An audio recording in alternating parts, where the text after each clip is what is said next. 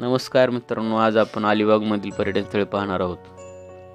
Weekend कुठे घालवायचा हा प्रश्न पडल्यावर मुंबई आणि पुण्यातल्या नागरिकांचा शोध सुरू होतो तो पर्यटन स्थळांचा. असेच एक पर्यटन स्थळ म्हणजे मुंबई पुण्यापासून जवळ असलेला रायगड जिल्ह्यातील अलिबाग. अलिबाग निसर्गाने इतके भरभरून दिले आहे की एकदा इथे परत येणारा परत परत इथेच येतो.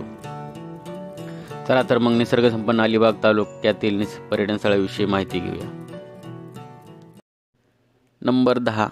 नागाव बीच विकेंड कुठे घालवायचा हा प्रश्न पडल्यावर मुंबई आणि पुण्यातल्या नागरिकांचा शोध सुरू होतो तो ठिकाणांचा. असंच एक मुंबई पुण्याजपासून जवळ असलेले नागाव बीच अलिबागपासून जवळच असलेला नागाव बीच म्हणजे एक सुंदर अनुभव आहे जो इथे आल्यावरच मिळतो. कुटुंबासह समुद्रकिनारी फिरायला मिळालं की मन ताजतवानं होतं. याचा अनुभव आपण सर्वांनीच घेतला आहे. पुणे मुंबईच्या दागदुखीच्या जीवनापासून अलिप्त आणि फार लांब नसलेले हे ठिकाण एक शांत आणि रमणीय ठिकाण आहे.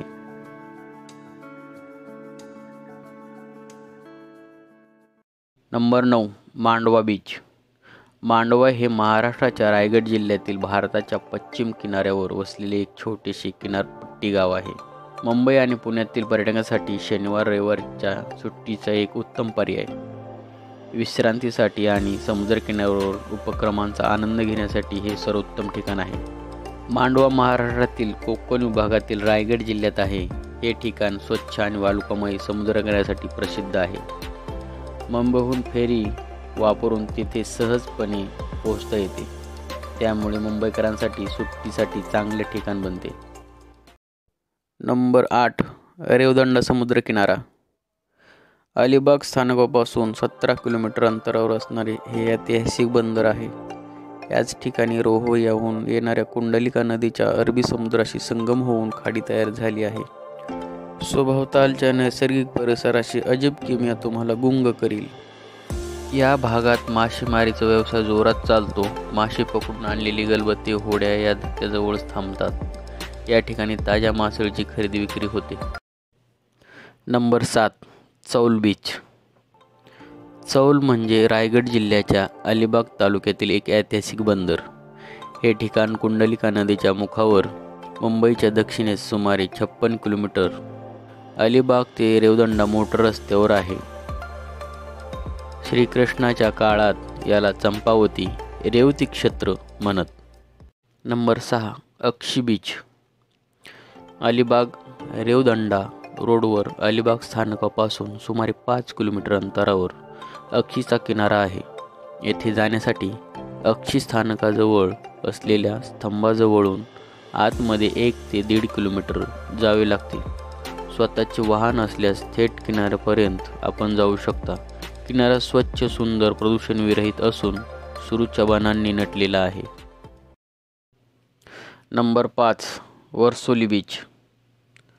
अलिबाग शहराला चिटकून असलेला वरसोली बीच जेवढा सुंदर तेवढाच शांत आणि स्वच्छ आहे. काठावर सुरूच्या बाणांनी गर्द सावली आणि समोरच पसरलेला विस्तीर्ण समुद्र. अलिबाग बस स्थानिक नजीकच्या महेश चित्रमंदिरास वळसा घालून थेट रस्त्याने वरसोली बीच गाठता येतो.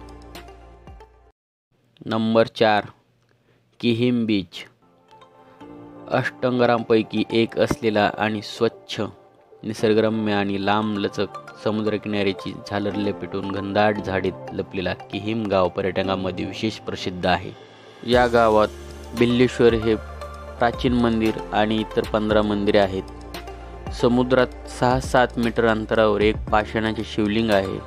मात्र हे शिवलिंग फक्त श्रावण महिन्यातच वाळूची जेव्हा धूप होते तेव्हा दर्शन देते. असे म्हणतात की पुढे एक नंदीसुद्धा आहे. मात्र पाणी खूप खोल गेले की तो दिसतो. नंबर तीन आवास बीच. देवांचा वास ज्या ठिकाणी आहे म्हणून या सुंदर गावास आवास हे नाव पडले. याला कारणही तसेच आहे इतर कुठेही नसतील इतके मंदिरे आवासमध्ये आहेत. आवासाचा समुद्रकिनारा देखील खूप सुंदर आहे. नंबर दोन सासवणे बीच अष्टागरातल्या या सासवणे गावावर जणू निसर्गाने सौंदर्याची वृष्टीच केली आहे. सासवण्याचे मुख्य आकर्षण म्हणजे येथील असलेला सुंदर समुद्रकिनारा. शुभ्र वाळूने आच्छादलेला आणि पश्चिमेकडून घोंगावणाऱ्या वाऱ्यावर डोलणाऱ्या उंच माडांची झिलर या किनाऱ्यावर पाहावयास मिळते.